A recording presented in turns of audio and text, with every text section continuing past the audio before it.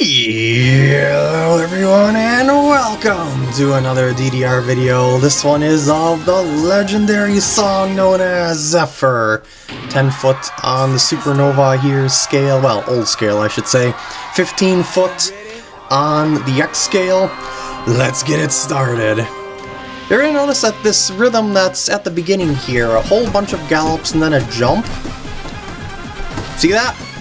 That repeats quite a bit through the song, but the patterns keep changing throughout the song, and it's got some rapid jumps, a couple of quick streams, not really all that physically demanding or anything like that, but the rhythm is something else. it took me a couple of runs to actually uh, get the rhythm mastered to the point that I was relatively comfortable enough to make a video on it.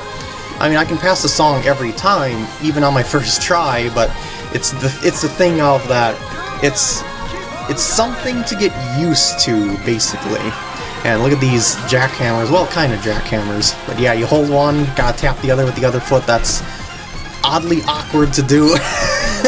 it's hard to describe unless you play DDR, because you're you're used to alternating feet and whatnot, so to have to do that, it's, uh, it's a little bit off-putting, I guess you could say, it with your rhythm.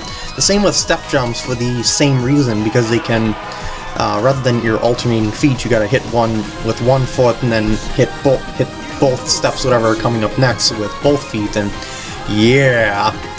And there are a couple of those thingajiggers in this song as well, though not as uh, step jump as step jump intensive as Max Unlimited or anything like that. And the great finale here is probably the most stream intensive part of the song, but still pretty straightforward. Completed! Awesome song. Yep, one of my favorite songs, actually. Thanks for watching, and I'll see you later.